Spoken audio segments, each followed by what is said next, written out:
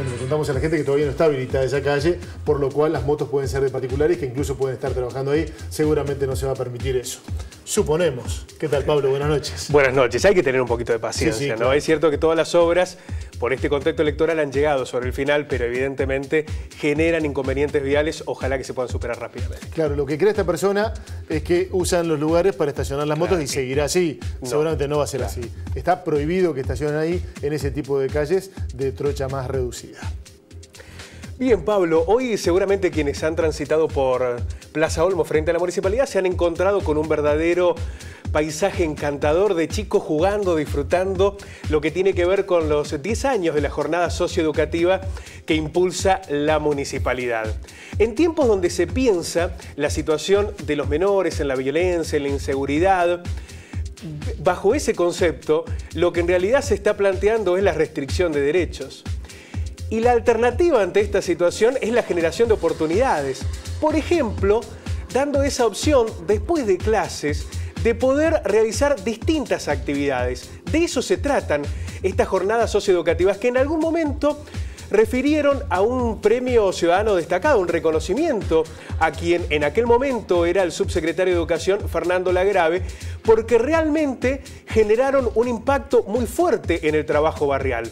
Una década después se puede vislumbrar cómo más de 1.300 chicos cada año efectivamente aprovechan esta instancia. Para quienes van a la escuela a la mañana, las alternativas son durante la tarde y viceversa para quienes van durante el turno tarde. ¿Qué es lo que hacen? Bueno, tienen desde apoyo escolar a tareas recreativas, deportes, huerta, inglés. Son muchísimas las opciones y realmente se da esa efectividad cuando uno observa los trabajos como pudimos apreciar en la exposición que se hizo durante la jornada de hoy. Son medio centenar de educadores en un proyecto que lleva una inversión de 4 millones de pesos y que se ha convertido en una política de Estado. Los chicos fueron protagonistas de una tarde realmente encantadora participando cerca de 20 instituciones, 12 escuelas también, cerca de 50 docentes. Tenemos 12 escuelas también, en las cuales también tenemos participación en lo que le damos la posibilidad integradora a cada uno de esos chicos entre 6 y 12 años,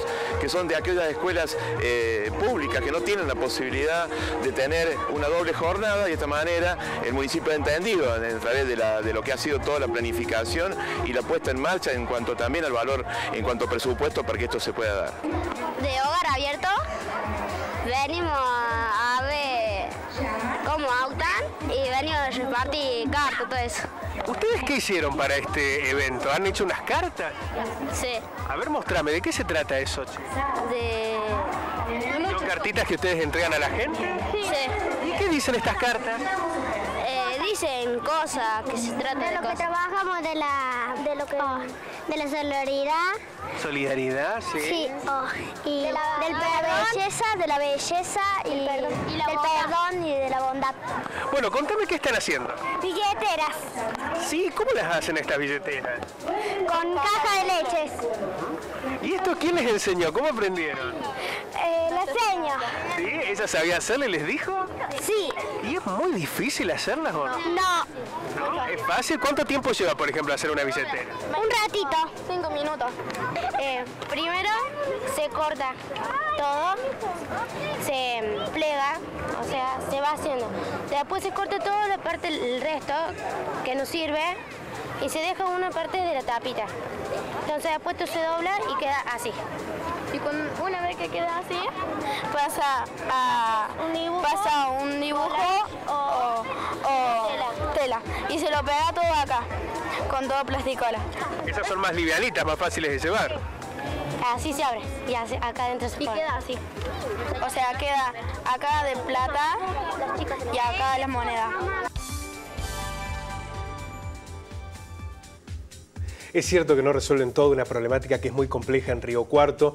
Aquí estamos hablando de chicos de las escuelas primarias, en los colegios secundarios. Es más fuerte el impacto de aquellos que no estudian ni trabajo, son 900.000 en todo el país, es, también más de 500 lo que sucede aquí en Río Cuarto, pero sí es un eh, elemento que va más allá de un paliativo, es una verdadera oportunidad. Y lo veíamos cómo los chicos lo aprovechan integralmente allí, en sus barrios, con sus papás, con sus docentes. Eh, una muy buena opción la que se está dando con la jornada socioeducativa. Sí, y los ponen en protagonistas de algo muy interesante. Gracias Pablo, buenas noches. A ustedes.